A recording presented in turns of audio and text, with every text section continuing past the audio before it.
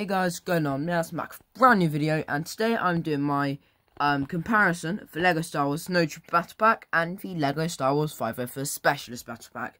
Both of these are obviously battle packs, and they both retail for 20 US dollars or 14 pounds.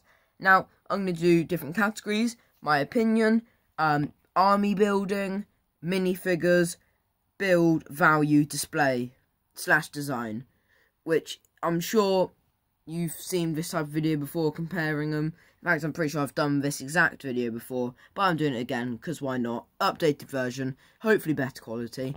Anyway, so first we'll do the minifigure category. What set has better minifigures? Now, first up, on the left, we have two 501st Heavy Troopers with nice little backpacks.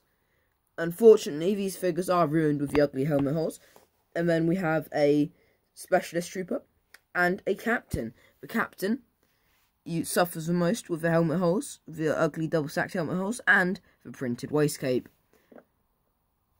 And the specialist actually has a really nice um, special piece just for him. The visor, the macro binocular visor thing, which looks really nice. Figures, very good. Now, over here, we have one scout trooper grey arms.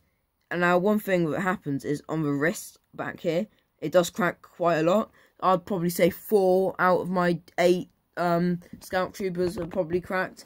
But then you have three plain snow troopers. One of them has just longer rifle, the other two have plain. They're the exact same minifigure. Quite cool looking, the newer ones. And then they have nice head underneath. All different. But yeah, still a very nice looking figure. And then I'm going to say that better figures has to go to the 501st one. These figures are better, but it's one it's 1.2 um specialist and one and 0 points to snowtrooper. But this is better for army building. So that's one point to each so far. I'll say that has better minifigures, but that's better for army building. That's one point to each. Now, get figures out of here for now. Gonna focus on builds. So, this build has a clear bit there and four legs. So it's got a bit of when you push it down, it go the thing makes contact.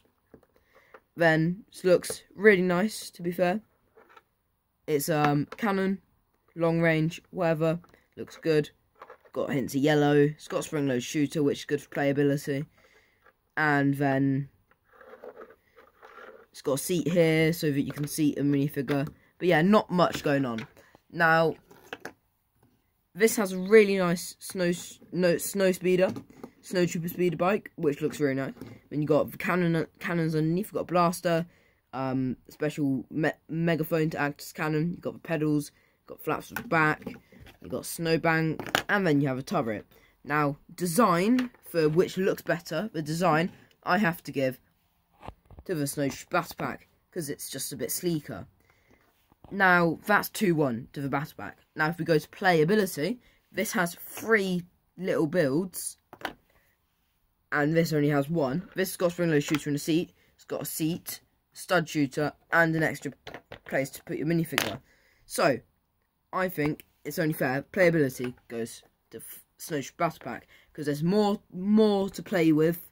There's the things have like similar things to play if you get what I mean. A seat here, a seat here, stud, shoot, right? But yeah, I think goes to this one. So that's 3-1 to Snow Battle Pack so far. Now, my opinion, I'm just going to put it this way. I have one of these and eight of these. It's fairly obvious. I think this set, I think this is a better set, but this is better battle pack. So that's why I'm going to say my personal opinion goes Snow Battle Pack here. But yeah, anyway, so if we move on to the next category, which is uh, design, which is better designed, I think they're both fairly well designed. Now, this one has movable legs. Got shooter here, so you can shoot, can angle your turret.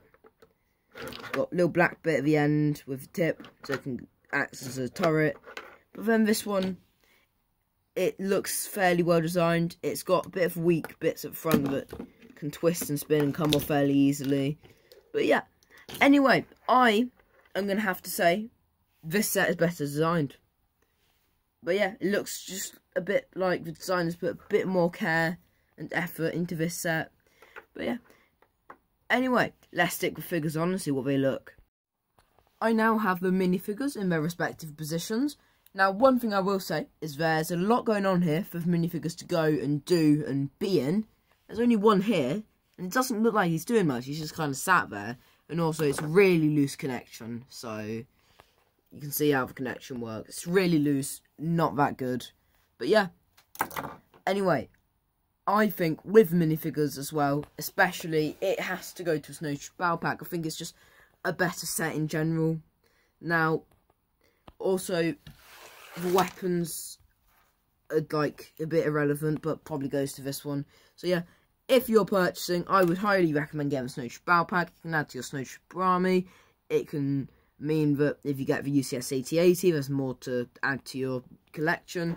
Yeah, that's why I would go for this set over this set. So if you're making a purchasing decision, maybe something to roll on the Christmas list, and you have maybe like 20 quid left over on the budget, you want to get something in there. This is the set I, I would choose personally, not this one. I'd go for this one. But if you already have one of these, maybe go for 332nd battle pack. But this one is still the one I would go for. Anyway, I will see you guys next time for a new video. Peace.